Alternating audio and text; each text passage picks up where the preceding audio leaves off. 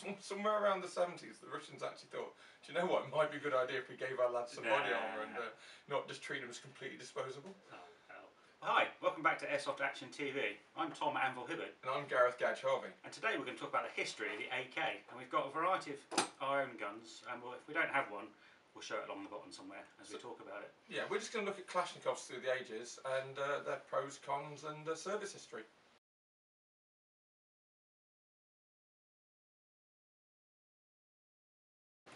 So, Tom, you were telling me that uh, what I've always thought was my trusty Tokyo Marui AK 47 is not actually an AK It's not, 47. it's not an AK-47 gauge. No? Well, I bought this and it was sold as one. Uh, Well, they always, well, they always are, and, and in the West, they're pretty much have always been called AK-47s. But to the Russian government, this was actually an AK-49. Right, so this is a modernised version of the original AK 47. Well, what happened is the original AK-47 was a stamped steel receiver, Yeah. A bit like the STG-44. But the, the, whilst they could manufacture them, the quality control in the factory meant that they weren't consistent enough for mass production. So they went to a, a forged, so big big drop forging, made, made a big billet of steel, and then machined receiver, which was the Type 2, which is Type 2 known in the West. That went through another round of modernisation procedures, and you got to the Type 3. So this is known to the West as an AK-47 Type 3, known, known in to the Russian government at the time as an AK-49. So, if we go back, from my understanding, in World War II, I think the Russians realised that the PPSH submachine gun was critical and entire platoons had them. Yep. And at the same time, the Germans were mucking around with what we call an intermediate cartridge, because before then you had little ditty 9mm or whatever submachine gun uh, or pistol rounds, and you had full bore 303 type rifle cartridges. Now, most combat engagements are actually happening at 400, 500 metres, not the mile that a 303 round can Yeah, hit somebody if that. at.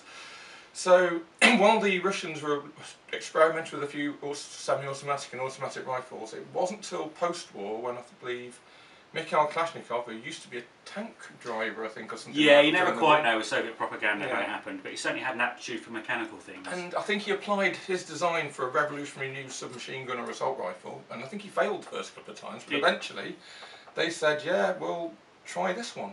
Yeah, it's very, it's pretty complicated. Um, Ian from Forgotten Weapons YouTube channel has got a series of videos on the development of the AK that are really good. Um, this is basically a the AK was a complete mashup. It's, it's, it's the locking system in it is from a Garand. Really? Yeah. um, and, and then the long straight gas systems from a Tokarev. Yeah. So it's a complete mashup of various weapons. But I mean, systems. mechanically inside, it's got very few working parts Yeah. compared to a lot of. As far as I'm aware, there's there's like the sear, there's the return spring, there's the bolt carrier, and that's probably about it, isn't it? And there's obviously your gas parts, the cycle and Yeah, forward sear. but as you talked about, Gadge, originally it was pretty much a replacement for the submachine gun in Russian service. It wasn't really designed as a, as a long-range rifleman's weapon. It was a get- up close and personal, within 100, 200 metres and Oh. let rip. The SKS semi-automatic carbine was in service at the same time, and I've uh, fired an SKS which uses the same 7.62 Soviet round, and my shoulder still knows about it. Um, but yeah, they, they were side by side for a while. They were, and then they realised that the SKS was at that point completely pointless, and um, went went to the AK family of weapons. So if we just look at the ergonomics of, uh, the, we'll call this for the sake of argument, because I'm so used to it, an AK-47. I know Tom will probably die a little inside there, but uh, ergonomically, it's got a full stock. Now, back in the day when I bought this for Airsoft, and I bought this around about 2002, and it still works. Uh, that large stock should give you more stability when firing for a normal infantryman, which is great for a large battery. batteries. Uh, the magazines had huge high caps and high caps to the raids. They were like 600 round high caps compared to the 300 you get in most of the guns. Yep. And they're a bit long. There were problems that when you were trying to fire and you were prone with a magazine attached, as you can see, you can't get much more lower than that really. Essentially, dig a little hole. Yeah. And uh, I really like them. Originally, I hated the AK, so I always thought it was a bit of a terrorist weapon, or sort of like, you know, uh, it just had a bit of a stigma. It was the thing that when I was a kid, you saw the IRA using, etc. Yeah, All- true, All the bad true. guys in films had AKs. Which is now why we like them. Yeah, kind of. But when we went to play a Sterling Services game a long time ago, uh, we all went as, um, I think, Cuban mercenaries or something like that. So we all bought AKs for it. And since then, I've been a bit of an. AK convert. I think the biggest change, though, for most people used to M4 ARs is the fire selector. Because in most NATO weapons, the fire selector normally starts off in safe, goes to semi, and then gets to full auto. Now with an AK, The fire selector here also doubles as a dust cover. So when you put it into its first setting, which would normally be semi-automatic on most weapons, that's actually full auto, and that allows you to chamber around fully on a real model. Swipe it all the way down, it's single shots.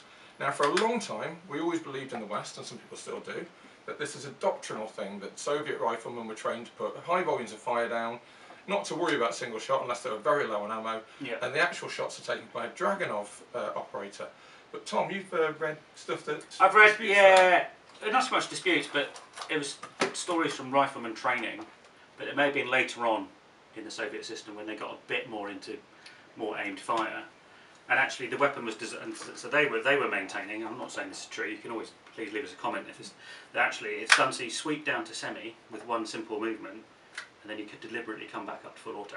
Now again, that's just that was that was from stuff from some guys that trained in the 70s, 80s. It does make sense if you consider that unless you're actually fighting very close to BMP, which was doctrine, most Soviet riflemen were carrying three or four magazines of 30 rounds, which isn't, if you're firing on full auto all the time, you can sustain a firefight for about five minutes.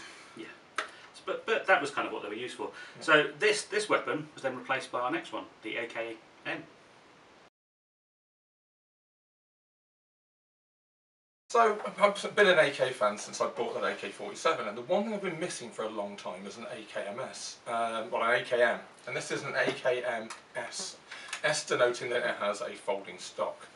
And um, this is obviously an improvement from that original model we showed you later, but weirdly it's had an incredibly long service life. Uh, these came into service in like the, what? 1957, uh, 1959? Yeah, early, 50, early mid-50s, and you can still see them being used by Russian Special Forces and Russian militia units today, pretty Yeah. much.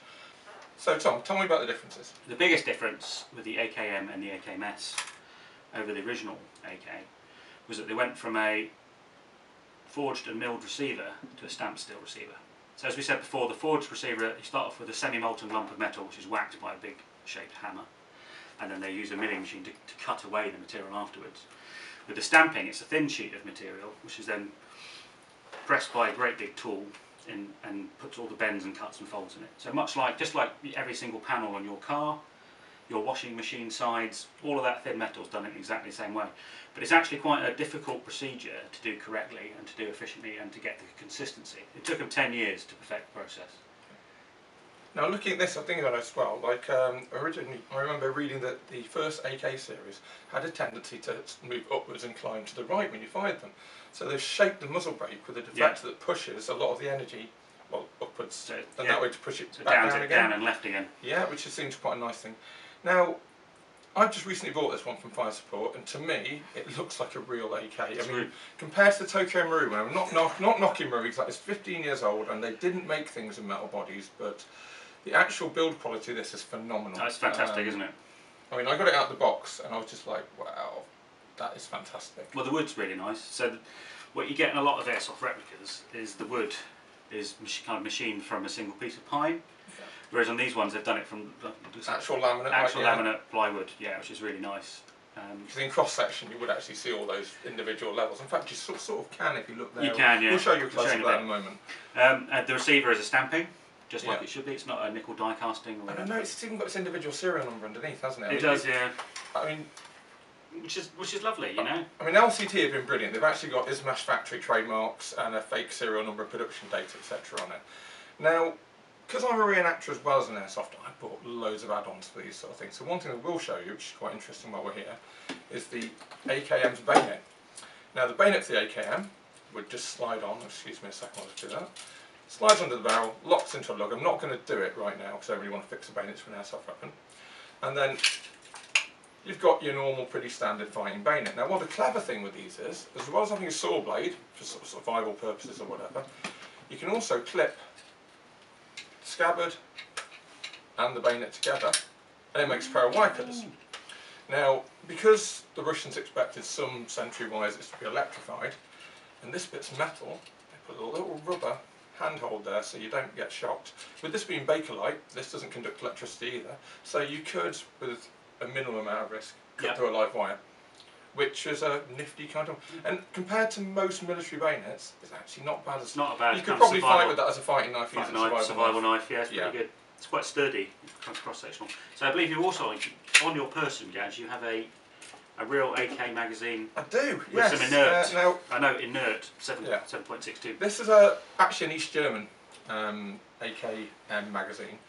Now, originally AKM magazines had flat sides on them, uh, but as most engineers will know, putting this ribbing in actually means you can have more strength for a thinner Yeah, material. they, yeah, they don't think you went too much thinner gauge. So these, it's a 30 round magazine. I've only loaded this with about eight rounds at the moment, um, and it still weighs a ton to be honest. And that, I'll show you a close up of this, is a 7.62 Soviet um, intermediate cartridge. And I think So they're much shorter than the big They four are pound sh- rifle ones. they're also shorter than the NATO 7.62. Okay. So they're Uh, not they're not and contrary to popular belief, they're not cross compatible. So you No. can't put a seven six two NATO into an AK and and the reverse. Now, if you notice, one interesting thing is that I quite like this. The Soviets um, painted the cartridge colour so you don't have all that shiny brass. So if you're actually in a firing position and you and there's empty cartridges everywhere, you don't have that giveaway glint. Yeah, a lot of it's, well, they used um, these a lot of they used steel, so they needed lacquer. Yeah. Because brass was quite expensive. Well, you can actually see it still there, can't Yeah. you? Again, we're all Yeah. close up on these rounds. But that's a big round. It's got a bit of a kick. Like I said, I've actually fired this particular round in different rifles while on ranges in Canada. And uh, yeah, you know you're firing it. It's not like firing a 5.56 with a gentle tap on the shoulder. It's, Yeah. it's a sufficient kick. But um, Well, part of the reason the Russian army's still using them, particularly special forces guys, is for barrier penetration. So a big old heavy bullet punches through bricks and mud huts and everything way way better than the more modern rounds. now another accessory they made for the uh, the AKM and the AKMS was the PBS-1 suppressor. A lot of people call these silencers. They don't silence a weapon; they suppress them. And essentially, you take the original barrel blast deflector sort of muzzle brake off, Yeah. screw this on, and it will deaden the noise of your shots for the first couple. It's essentially a series of rubber rings inside Oh, the is it that? suppressor. Okay, was it a white Yeah. system in there? Yeah, and they basically will wear down with Yeah. prolonged use. You can replace them, etc. This is obviously an airsoft one. I don't own a real suppressor because I live in the UK, and it's kind of frowned upon. And that really is my. Oh, I haven't had a chance to test fire this yet, but uh, if it's from Fire Support and LCT, I've got great faith in it, and I'm sure it will do us proud. Okay, so the next next thing we can look at is the AK-74.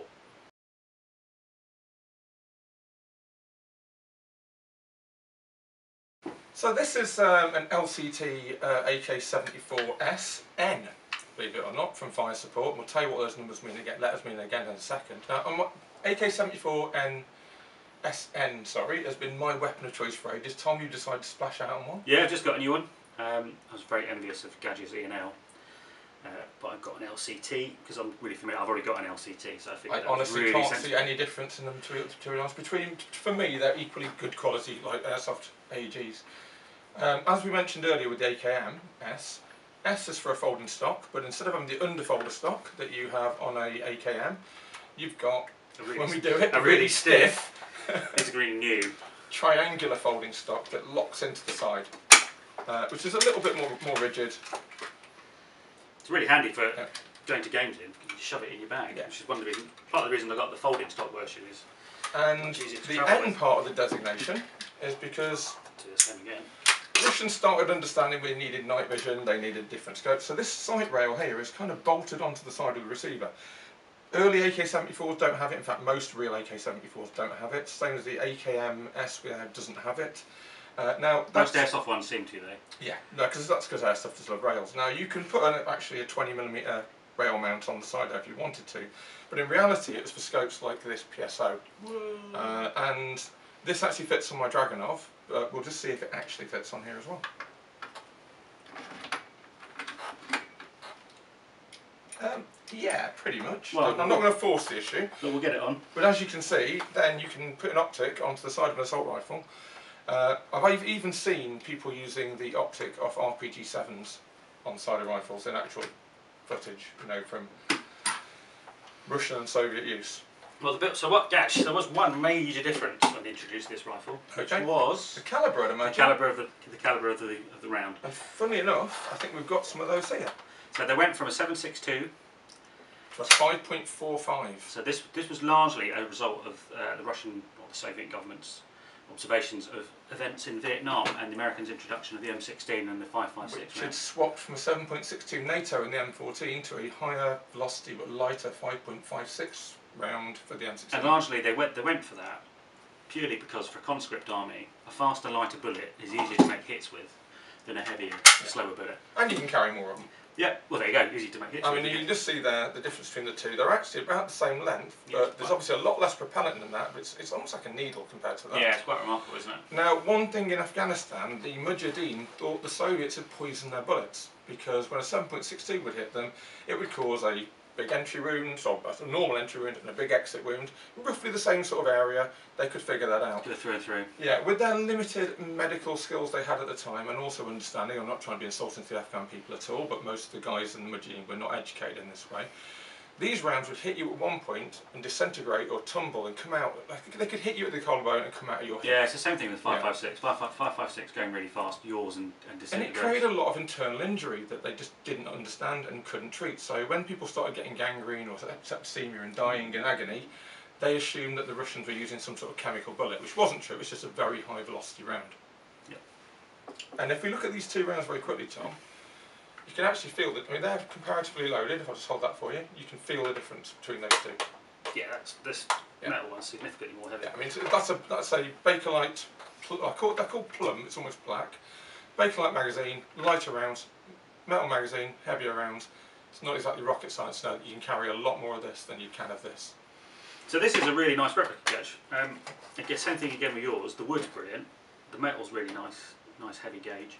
One thing they got really, really right on this one is actually the, the muzzle brake. The muzzle this. brake's lovely on it, isn't Yeah, it? well, it's it's about right for the year of production. I had a little Yeah. Google earlier. I'm not I'm not a weapons expert. With all the little drilled in. Yeah, Yeah, yeah. um, yeah. So it's it's really nice. Again, I haven't had a I haven't had a go on this yet, but so we're looking forward to getting out and playing with it. One thing I always love about any form of Kalashnikov, like real or airsoft, is that this um, the iron sights on them. It's a nice little ladder sort of sight that you kind of like, you know, just move from battle sight to a very optimistic Very optimistic. thousand meters, right? Now, given that when I was an infantryman, I was firing an, uh, an SA-80 or L-85 individual weapon, and with a SUSAT on, I was only expected to hit things four or five hundred meters away. Yeah, well- Hitting something a thousand meters away with a, uh, a like a sort of low tolerance AK is well, it's it's ambitious. Well, we they're in the right hands. They're no they're no more or less accurate than than AR series. But doctrinally, they tend to leave it on the little N the little N Yeah. mark, which is the which is basically the 300 yard battle sight range, and they're trained. That's pretty- actually and they're that's trained. actually a P, you know. It says your pit on the P. so they're trained to leave it on the P and just aim at the belt buckle of the opponent. And Yeah. at distances closer than 300, it will hit higher, and at 300 or 400, it will hit. It will hit I round the think it's a P. Actually, my Cyrillic's well out of date. If I'm wrong, leave a comment and tell me. Let us. Um, But there's a few more guns we're going to show you. So there is. But before we do Before that, that, one thing I want to mention, we almost forgot about it there. Afghanistan was the first time the West saw that in combat, and the Soviet army had to change its way of fighting completely. They weren't fighting an armoured battle on the plains of West Germany, they were fighting a counterinsurgency war in the mountains, being shot at from ambush. It became a platoon leader's war rather than a sort of like you know, brigade kind of war. And one of the most useful things they could have in a section was a GP-25 Kostyor, which is Russian for bonfire, grenade launcher. Pretty much a Russian version of the M203 that had been used in Vietnam. Uh, 40mm grenade, I believe. Um, just slides under the barrel. Again, we won't try and clip it onto here because they're buggers for scrap paper paintwork and they need a bit of work before they're fit. You no, get mind, but whichever one you've got. But it's one of the things with that, and I've used one in airsoft games before. It makes the AK tremendously front heavy. yeah, yeah.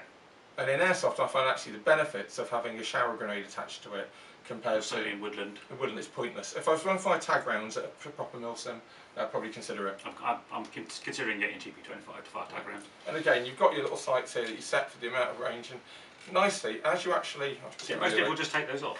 Uh, I'm not sure, but as you actually move that, it actually changes that little rear leaf sight comes up and down, and that goes in and out. So you can actually work out exactly what sort of elevation you need to fire a shot off. Obviously, with airsoft weapons, that's But we like gubbins like that that work. And the last thing we'll mention about this, Yeah. because the next gun doesn't take it, the bayonet for the AK-74, pretty familiar to any AK user before. Big difference is, rather than having a metal scabbard, right. they made it out of Bakelite as well. Yeah. See, this one's made by Izhmash. I think this one even has matching serial numbers. You can see No, that's quite in there rare. and there. Yeah, so the actual scabbard, uh, yeah, those those two numbers match. Well, that's and again, actually we quite can rare. Quite, that quite, quite rare Yeah, and again, all you've got to do is clip together the two parts, and you've got an insulated wire cutter. Now, most airsoft replicas won't actually accept a bayonet for very sensible reasons. I think that's kind of on purpose. I know that my ENL won't accept a real bayonet. Um, that we've just found out. Will, but it won't lock in. Again, that's quite sensible. Because we don't really want you running around stabbing each other. No, if you're a reenactor, then do you know what? The times you actually fix bayonets and reenactment are only for photo purposes anyway. So it, doesn't if it doesn't lock, it doesn't matter. But the AK-74, But Great. still, still going to this day. Yes. In a different, in, a- yeah, in, been guises. modified slightly. However, if I was in a tank or a helicopter, I'd probably want something a bit smaller than that. What? A bit like this goes. This is the AK-74SU, which stands for shortened with the U, and S for the folding stock. So you see quite a lot of these in airsoft, but the reality is they really weren't used that widely. No, I mean they were originally designed as a carbine for airborne forces, special forces, but they found actually the performance on them wasn't as good as the 74. So you pretty much see them really with like Russian militia police units, Yeah. um, occasionally tank crew.